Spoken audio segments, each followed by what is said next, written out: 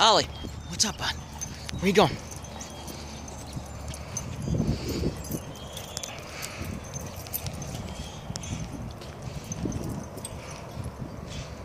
Up, oh, friend.